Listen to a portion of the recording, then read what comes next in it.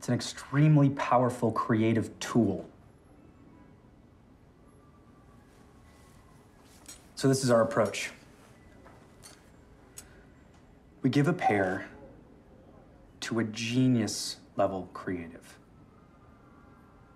We let them play around with it. We see what comes back. We might have a new art form on our hands. Not that we care about art. We give a about selling your magic glasses, though. Okay, so if not some nerd, then who? Somebody worth learning about.